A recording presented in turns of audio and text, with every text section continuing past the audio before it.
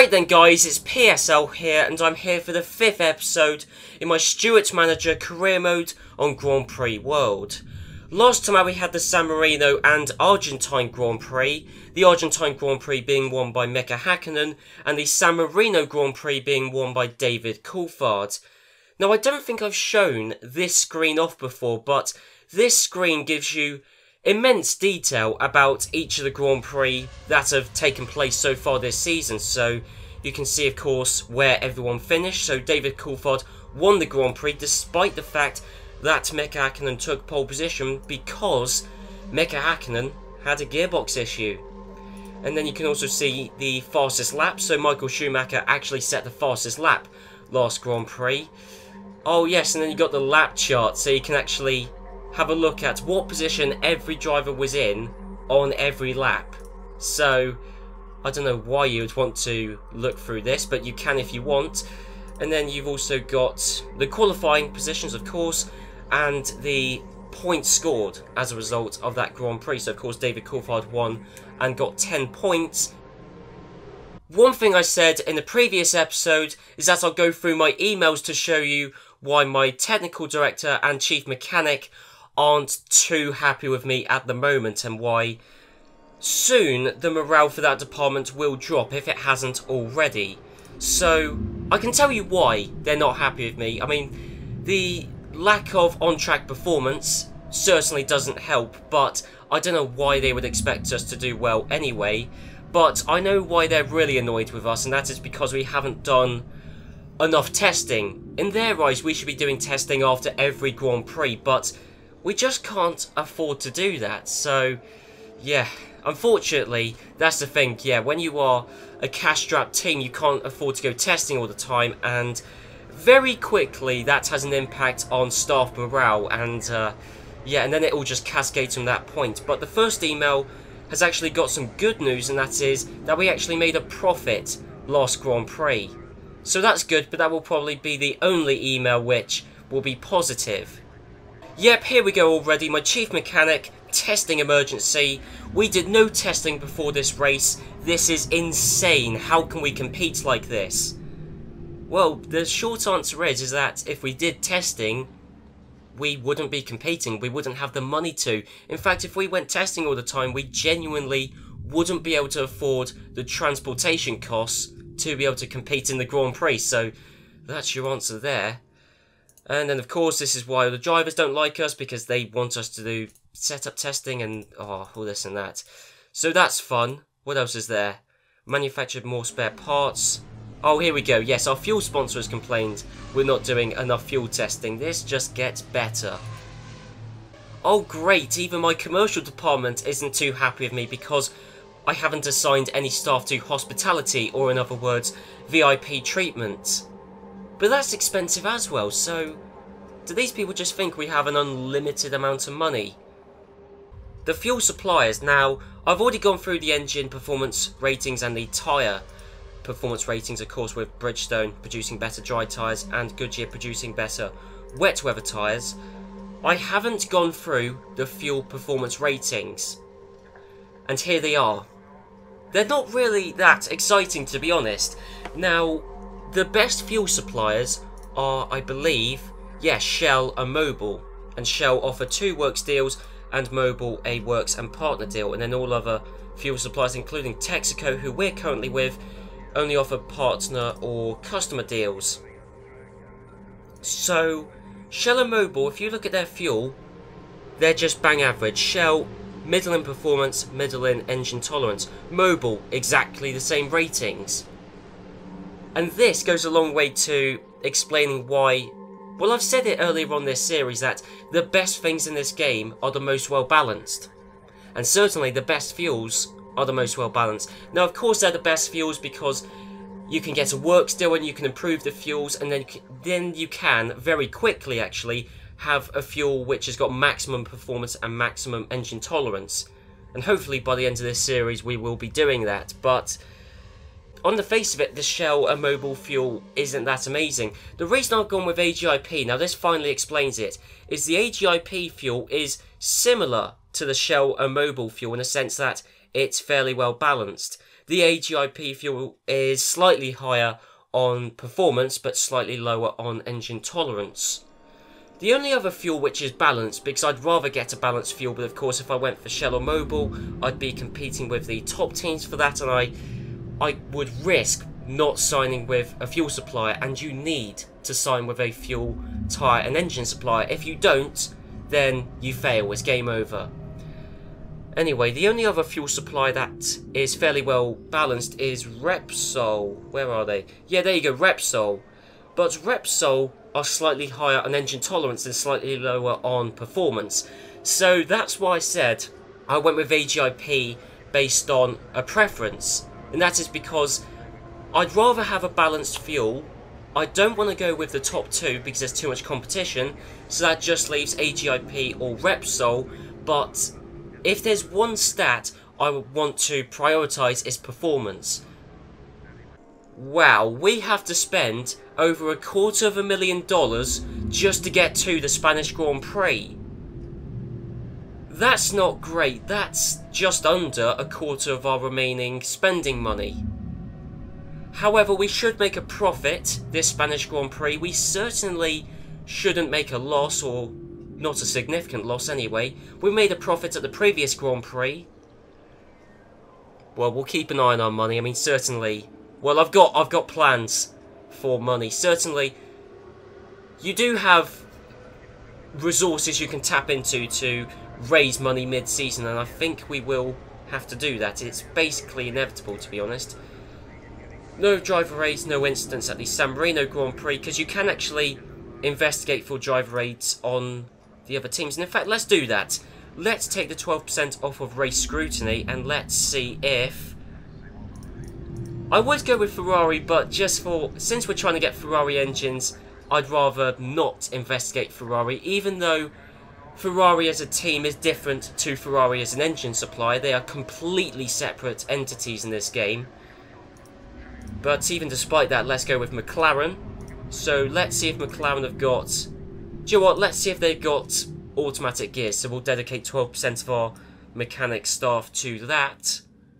And without further ado, let's head on into the 1998 Spanish Grand Prix.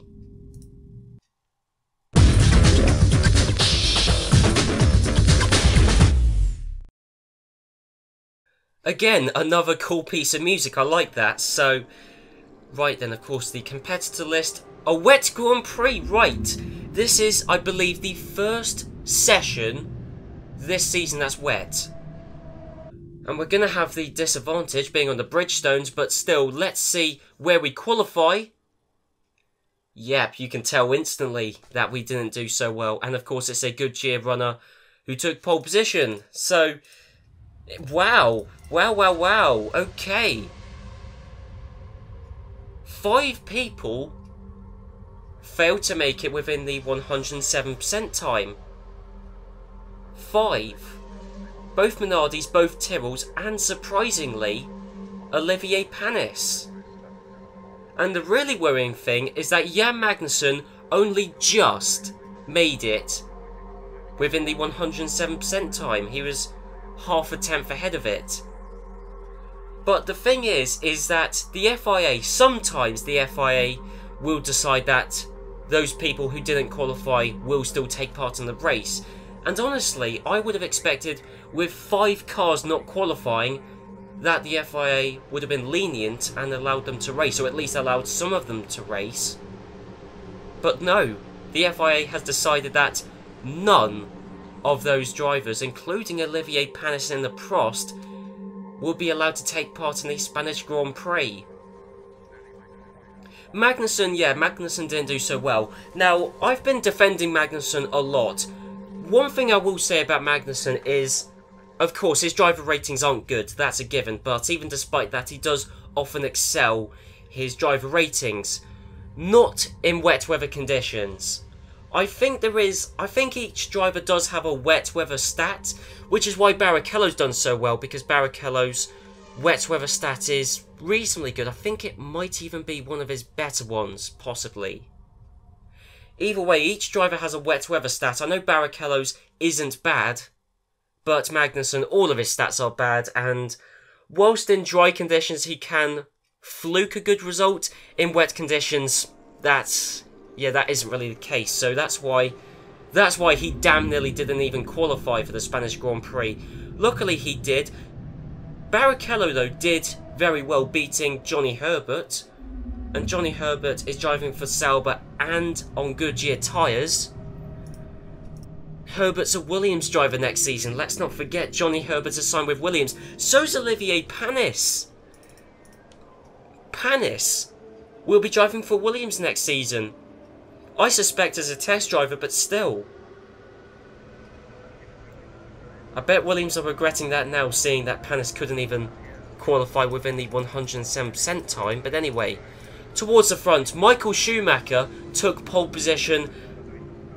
And look at it, he took pole position by over two seconds.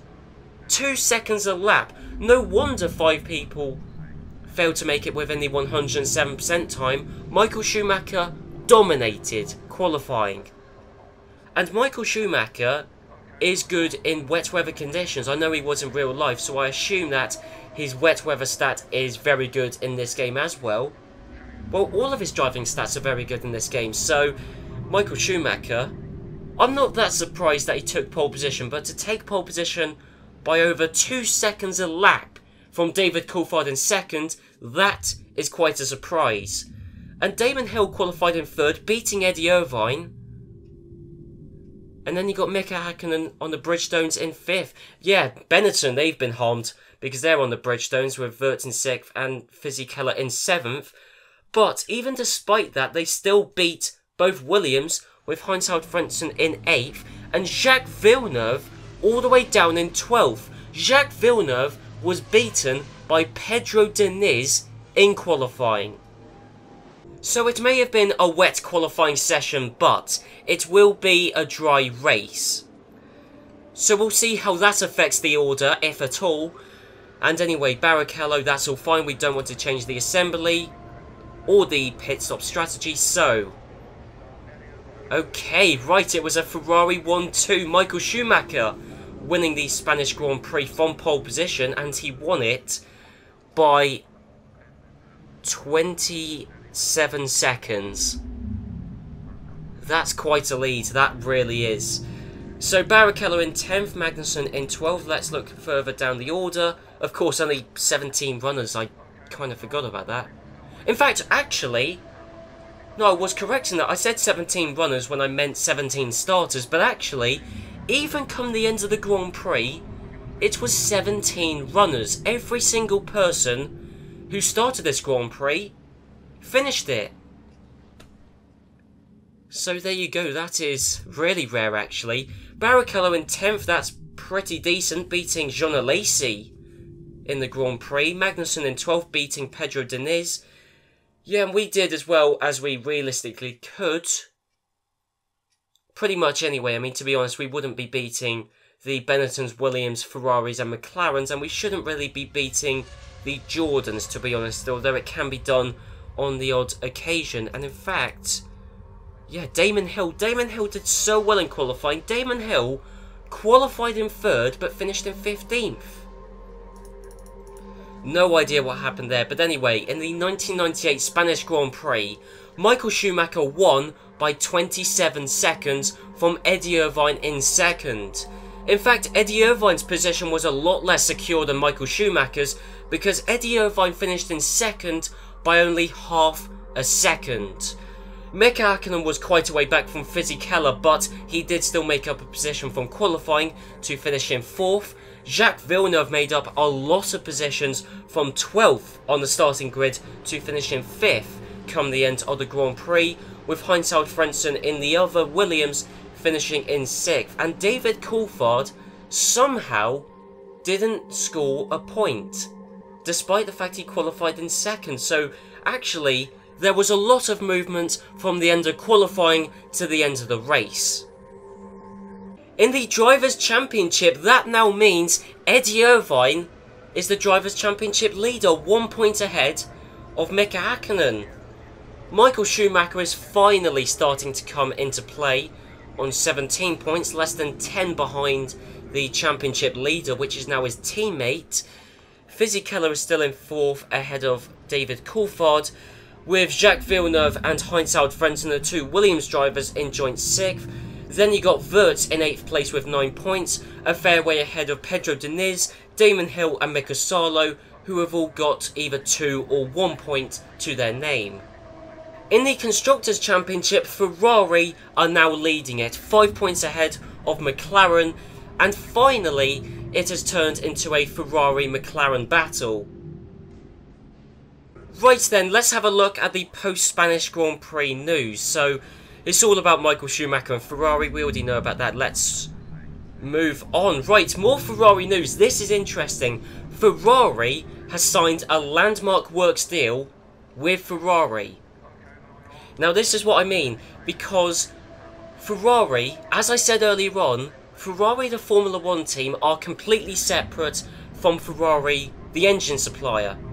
Ferrari really do have to go through the motions of assigning some of their commercial staff and doing VIP treatment to convince Ferrari, the engine supplier, to supply Ferrari engines to Ferrari, the Formula One team. It's ridiculous. I know it's ridiculous, but otherwise, Ferrari could just sign engines with themselves incredibly easily, and it would mean that managing Ferrari would be so easy. It means that Ferrari would be the easiest team to manage in the game because you can have guaranteed Ferrari engines without putting in any of your commercial staff. So, yeah, anyway, Ferrari have got a works deal with Ferrari. Because that makes sense. Although, I mean, it could have been worse. Ferrari could have signed a deal with Ford, let's say, or Mercedes. Um, although Mercedes would make sense because Mercedes make better engines. Um, I was kind of hoping that Ferrari would sign a deal with Ford, let's say, but well, that could still happen in a future season. I'm looking out for it. And anyway, we still haven't heard what Ron Dennis is up to. And we all know from my F1 Manager series that Ron Dennis is mad. So I'm still looking forward to the McLaren news. Well, we know McLaren have kept David Coulthard, which is fairly sensible. Anyway, uh, Stewart, I don't care. My drivers may be concerned that we're too slow. I don't know why they expected so much from us. Arrows! Arrows have signed Alexander Wurz. That's a fantastic deal, actually, for Arrows, because Wurz has been fantastic this season. In fact, both Benetton drivers have done extraordinarily well. Even Giancarlo Fisichella has done really well. So, there you go. Alexander Wurz has signed a deal with Arrows. That's really good for Arrows. I don't know why Wurz has agreed to go with them, but well, someone needs to replace Mika Salo since Salo is going to Tyrrell. Eddie Irvine has agreed to race with Benetton. Right, that was actually rumoured post San Marino. Benetton said they were confident of agreeing a deal with Eddie Irvine, and it turns out a rumour actually came true. Jordan has got Stefano Domenicali, right. Okay, so I don't actually know how highly rated Stefano Domenicali is. I would assume he's going to be at least 4-star rated, potentially 5-star rated, but still, Stefano Domenicali is one of, if not the best, commercial manager in the game, and Jordan have snapped him up. Ricardo Rosset has bought a seat with Minardi. Of course, Ricardo Rosset being a pay driver. There are a few pay drivers in this game. It is uh, Ricardo Rosset, Shinji Nakano, Esteban Tuero, Tora Takagi, so basically all of Minardi's and Tyrrell's drivers, and then the other pay driver is Pedro Diniz. And Pedro Diniz is the highest skilled pay driver and also the one who pays the most. During pit stop's last race, surprisingly little brake dust came away from the Ferrari cars. That means I believe that Ferrari have got a driver aid. Well, let me just check, hang on. So, Oh, of course, Jean Todt won Manager of the Month. How unpredictable. In fact, no, of course, that's completely predictable, isn't it? Um, and Ken Tyrrell won Worst F1 Manager. I feel like that's fairly predictable as well, right? I don't know why I get excited for Manager of the Month. Um, okay, so during pit stops, Ferrari... Right, okay, let's, um... Let's see if Ferrari have actually... Oh, okay, right.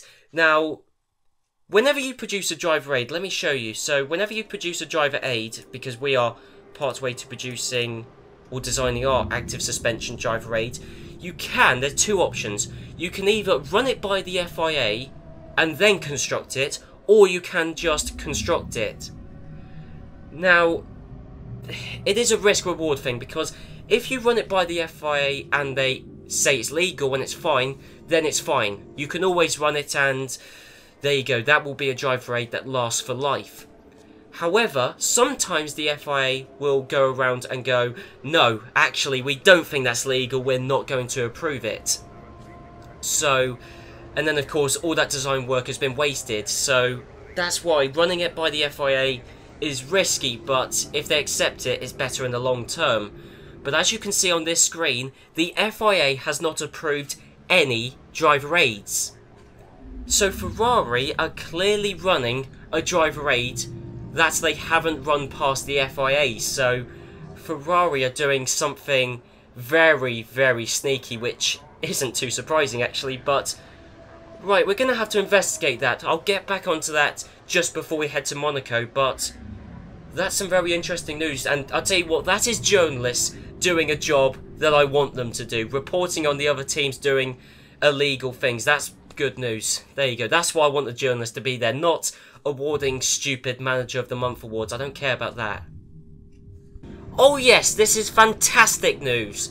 We have filled up the deal completion bar for the partner deal with Ferrari. So we can now sign that deal and we will get Ferrari engines next season on a partner deal. So let's sign that. It's only for one year, but there you go. A partner deal with the second best engines. Ford themselves have given us an upgraded engine. So of course we've got the standard Model 1 engine with the XX. That just means it's generic. Then there's ST, the abbreviation for Stewart. So that's the second model and one we worked on, hence the ST. Then the third model. The fourth model is an XX. That's one provided by Ford. In fact, let me just check. Have we... What what uh, have, what bonuses have we got with Ford? Have we got one that Okay, we have got a fast engine upgrade bonus with Ford. Okay, that explains it. So, Ford have given us a new engine. Let's see, how does it compare to the one we developed? It's more powerful, less reliable, and... Okay, so it's higher on fuel and higher on power, but less reliable. Do you know what? I'm going to go with that, actually.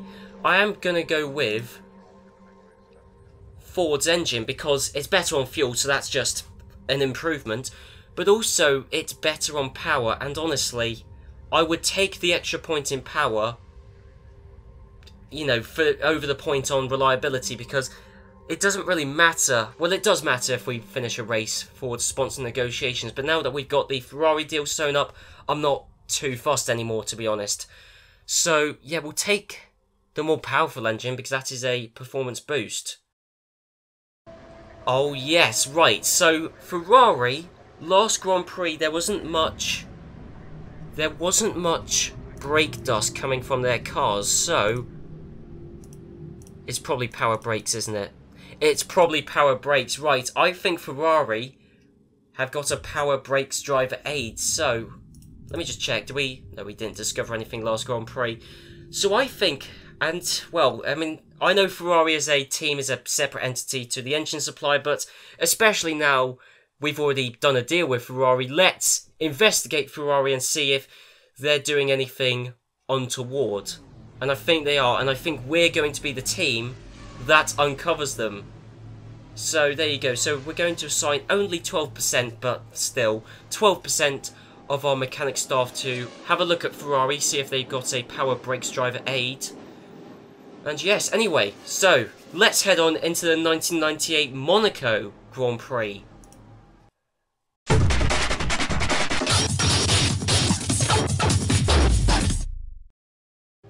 Okay, not that well, although it is basically the best we can hope for. 13th and 14th in qualifying. Everyone actually successfully qualified for this Grand Prix.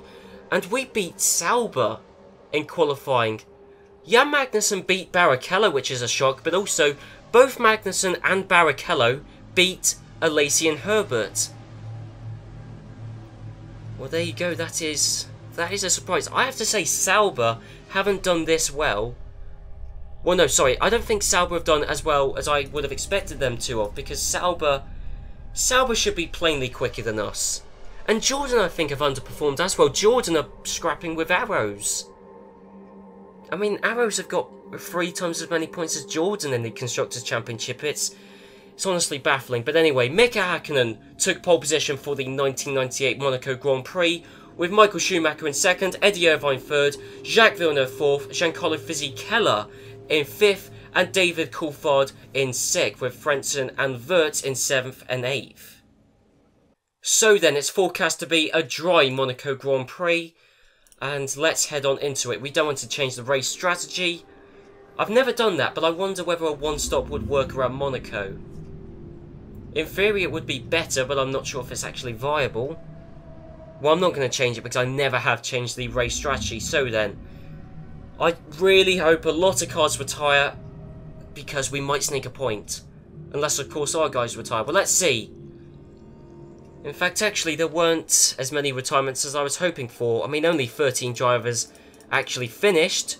Barrichello went out with a hydraulics issue. Eddie Irvine retired with an engine failure. Everyone who finished in the top six is fairly predictable. Mika Salo, though, damn nearly snuck another point this season, but Mika Hakkinen won the 1998 Monaco Grand Prix, 5 seconds ahead of Michael Schumacher in second. Alexander Wurz, another fantastic performance and another podium finish, third place around Monaco, 11 seconds ahead of David Coulthard in fourth. Mika Hakkinen has now got a 9 points lead in the Drivers' Championship and ahead of Eddie Irvine. Wow, it is close at the top. McLaren are leading the Constructors' Championship, but by only 2 points. Ferrari are on 48 points, McLaren on 50. It is very close at the top of the Constructors' Championship. And still fairly close in the battle for third place. Benetton have got 31 points, and they're only 8 points ahead of Williams in fourth. And then, of course, you've got Arrows who have got three points and Jordan with one point, and then every other team, including Sauber, still hasn't scored a point. So then, let's see if we uncovered Ferrari's power brakes. Yes, we did, right. Okay, we've got a choice now. We can either complain to the FIA and get those power brakes removed, or we can copy.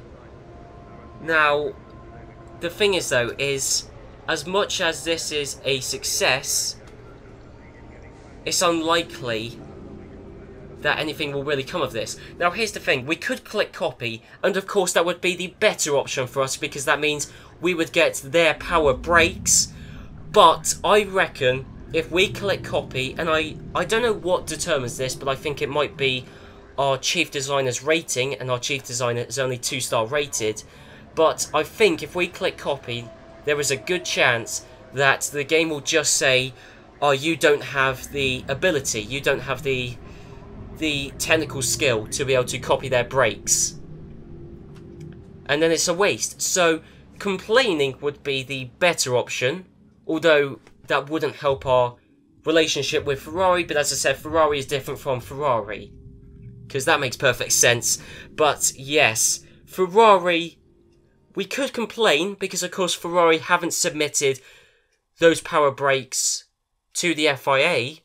So we could complain and then get Ferrari fined or get those power brakes removed. Yeah, I mean, I would copy their power brakes, but I don't think we'd be successful. And I think it's more likely we would be successful complaining, so let's do that. And of course, yes.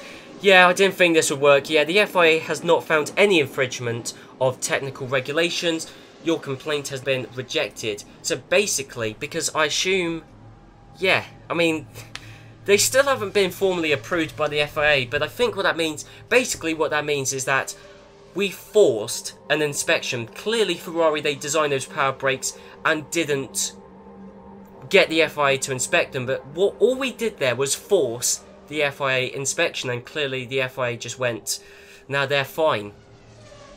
So then, let's have a quick look at the post-Monaco Grand Prix news, because there is nine pages of news.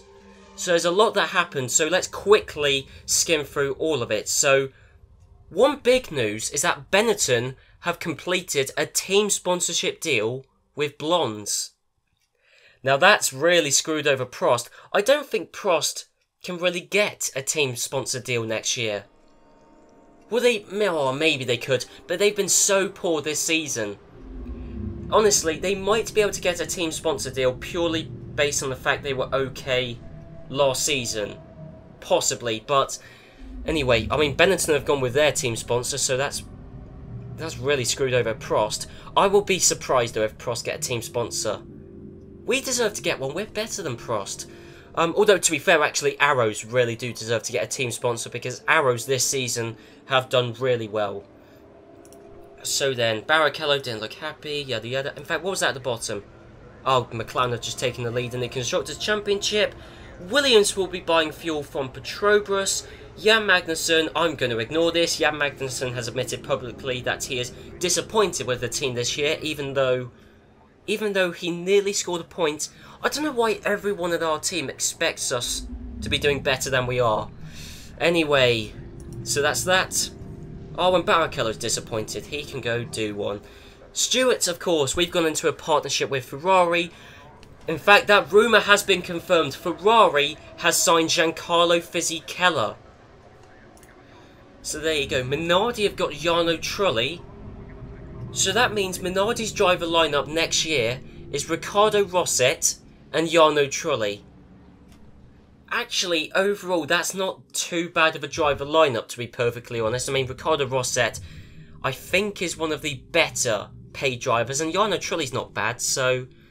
Honestly, it's actually probably not even that bad of a deal for Jarno Trulli, because Prost aren't exactly much better than Minardi, so Trulli's just moved from one bad team to a less well-funded bad team.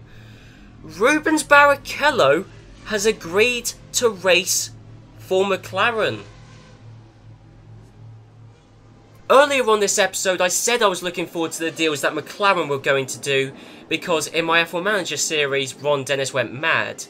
But here, that's actually quite a good deal. It's a fantastic deal for Rubens Barrichello but it's actually quite a good deal for McLaren because, as I said right at the start of this season, Rubens Barrichello is probably the best value for money driver in the game.